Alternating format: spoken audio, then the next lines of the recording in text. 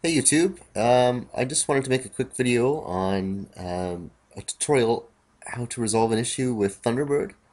Uh, when you get uh, when you get the error account already exists, what you need to do is you need to delete the old uh, information that you created when you previously created that account.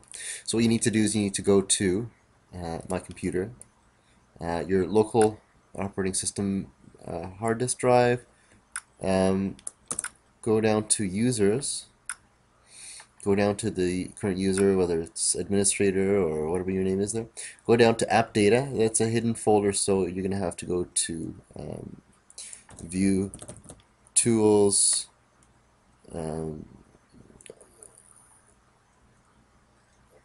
folder options, sorry, alt tools, folder options, um, view, and show hidden files and folders.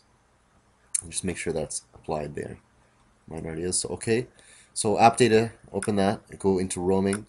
Uh, you go down to Thunderbird.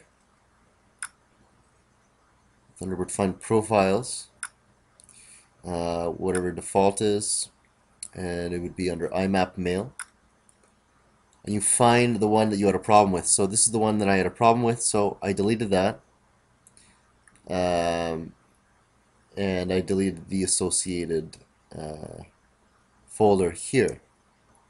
And I just redid the uh, incoming outgoing mail IMAP thing and then the outgoing SMTP okay so that should clear it up. Also this is the first time I'm using this um, Java based web based screen um, casting program so you go to screenr.com, you sign up with uh, your Google login or your uh, Facebook login, and you start recording. And then when you're done, you press D like this. Well,